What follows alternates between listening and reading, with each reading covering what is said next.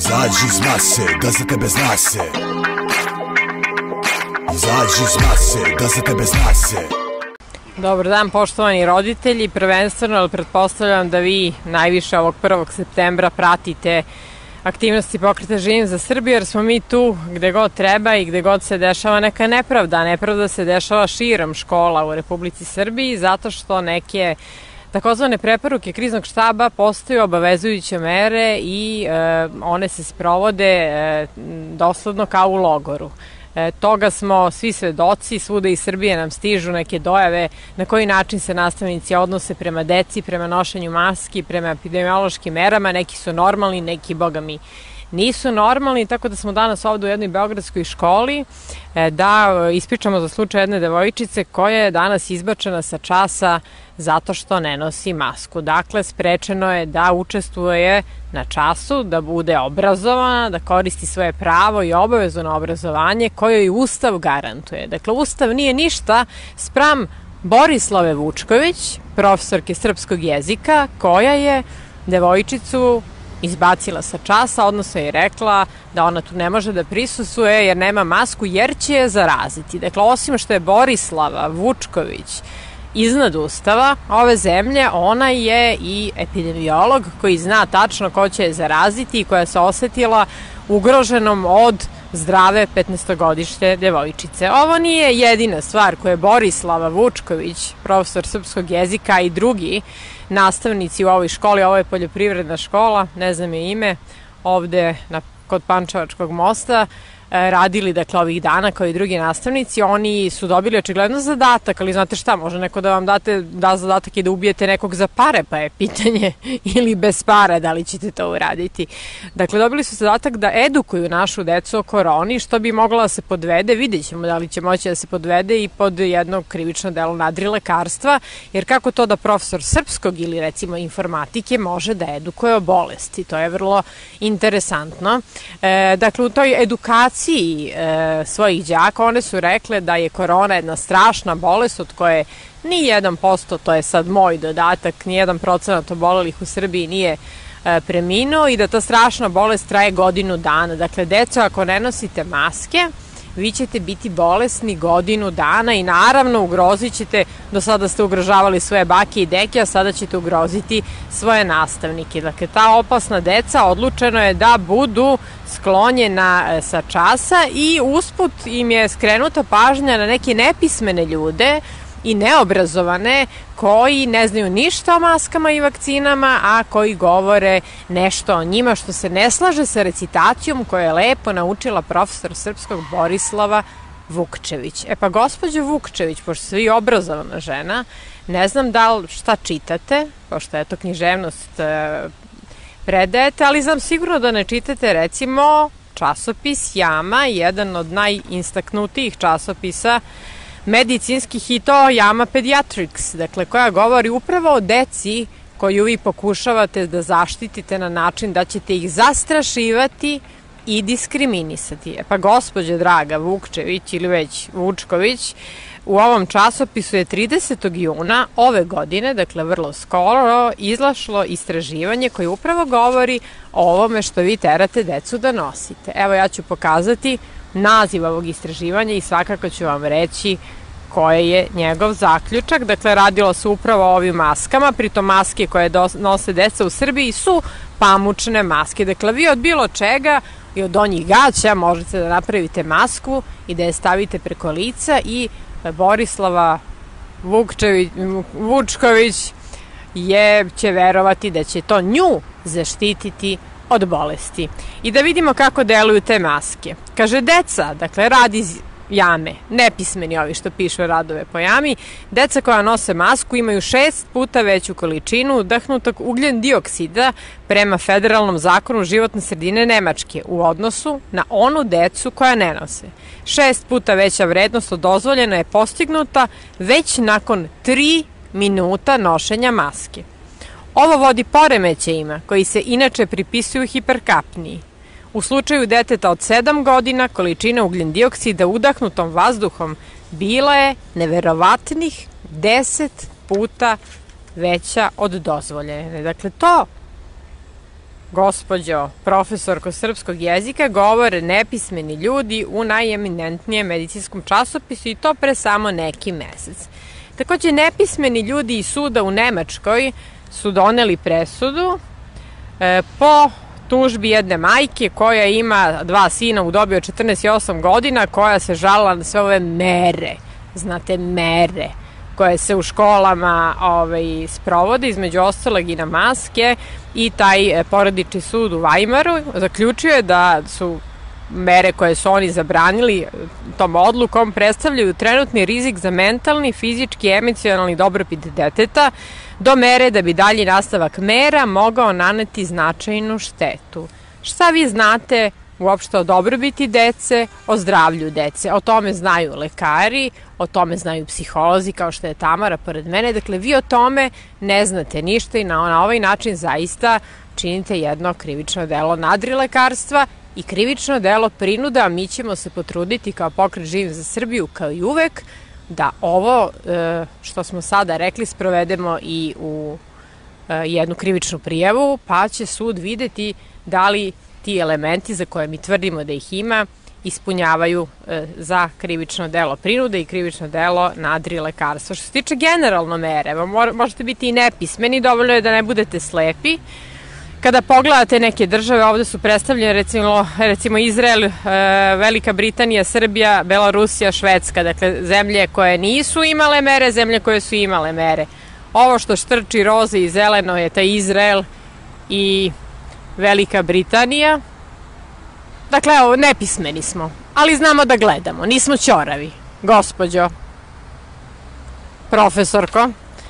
Dalje, dakle, ovo su, uh, ovo su dnevni, dnevni, dnevni, dnevno oboljevanje, odnosno zaraženi, a ovo su, odnosno to su smrti, a ovo su potvrđeni potvrđene smrti dakle na milion ljudi. Isto je takva situacija, sad to možda neće dobro da se vidi, ali poenta je da postoje ovi grafikoni i da su oni zvanični. Čak i da smo glupi, ludi i ćoravi, čuli smo makar, evo nismo gluvi, čuli smo da se pod šatrom veliki državnici srpski i funkcioneri su održavali neki ispraćaj u vojsku, svadbe, sarane i ostale stvari. Jel tamo neko imao masku? Jeste čuli da je neko imao masku?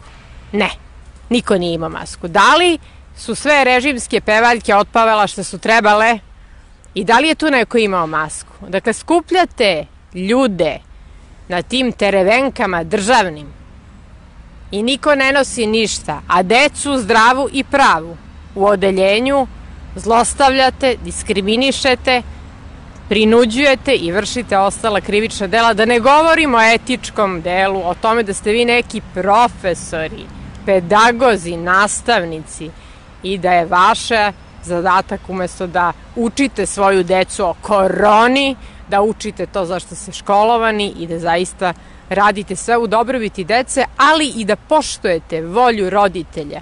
Jer su roditelji ove devojčice, tako nepismeni kako ih je Bog dao, pročitali i ovaj rad, informisali se dakle i ovim grafikonima, videli šta rade naše ovde okupacione gazde i na taj način doneli odluku u najboljem interesu njihovog deteta, a što imaju pravo po Ustavu i po porodičnom zakonu Republike Srbije. Ko ste vi, gospođe profesorko srpskog jezika i sve ostale u Srbiji koje ove radite, da to osporavate i da to preuzimate i da to ignorišete? To se pitamo mi i kao pokret Živim za Srbiju, koji vam naročito nije drag, što je vaš lični problem, ali i kao roditelji koji imamo decu.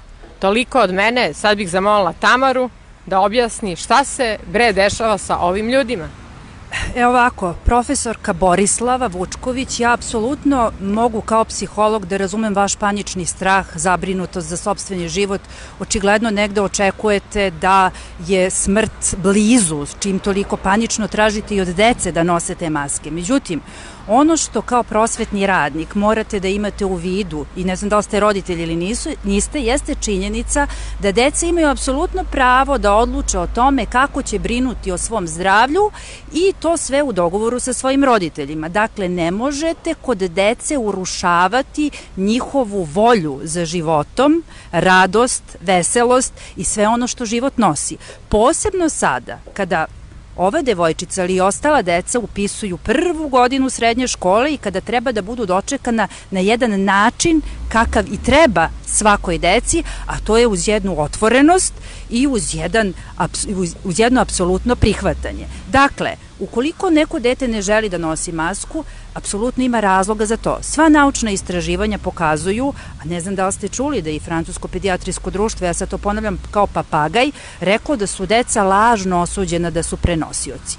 Dakle, niko vas, Borislava, neće zaraziti tako što će disati slobodno. Ukoliko ste vi uspaničeni i ukoliko imate neki svoj problem na tu temu, to se rešava na drugačiji način, a ne tako što ćete prenuđivati, sada slobodno mogu da kažem, našu decu. S tim u vezi je veoma važna poruka i ostalim prosvetnim radnicima, jer ovo se ne dešava samo u poljoprivrednoj školi. Mi imamo dopise iz Kraljeva, gde decu prvog, drugog razreta, tamošnja neka profesorka engleskog, isto primorava da nose maske i izbacuje sa časova, ne poštujući ustav. Pa, dragi kolege prosvetni radnici, ukoliko ste rešili da ne poštujete ustav, odnosno da se isključivo pridržavate ovih mera kriznog štaba i ovih naloga ministarstava potpuno nekritički i ukoliko ste vi podlegli ovoj medijskoj manipulaciji, što je meni sasvim razumno, dešava se, mi nismo. I postoje deca koja nisu. Ne znam da li pratite i vidite da su deca apsolutno, većina dece i mladih, oni su svesni da smo, da ste zapravo i tekako izmanipulisani i to je razlog zašto pružaju otpor. Ne pružaju deca otpor zato što su u nekom adolescenskom periodu pa se bun imaju bunt to je prirodni deo cele priče, nego pružaju bun, e, otpor zato što za to postoje realni, naučni, praktični, smisleni razlozi. Očigledno smo došli u situaciju da deca polako, znači sa ovom korona krizom, su prevazišla sve nas prosvetne radnike u načinu razmišljanja i poimanja sveta i to je još jedan dokaz da je naše obrazovanje apsolutno i potpuno urušeno. Dokle ćete više da merite temperature deci svakog jutra prilikom ulaska u školu? Da li ste svesni činjenice da na taj način u stvari gajite njihovo nepoverenje, nego nepoverenje i uvodite ih u jednu potpunu paniku i paranoju? Molim vas, svako dete zna da li ima temperaturu ili nema. Nijedno dete koje je prehlađeno svakako neće doći u školu. Roditelji će ga sprečiti, ali tako ostaće kod kuće da ozdravi. Tako da još jednom treba da se preispitate zašto i dokle ćete ovako bespogovorno poštovati ove epidemiološke mere koje pre svega uopšte nisu u skladu sa Ustavom. Danas smo došli ispred poljoprivredne škole da stanemo, znači podržimo jednu učenicu prvog razredna srednje škole, a sutra ćemo ispred svake druge škole koja bude na ovaj način terorisala bilo koje dete. Hvala vam na pažnji i prijatno. Evo još Jovana.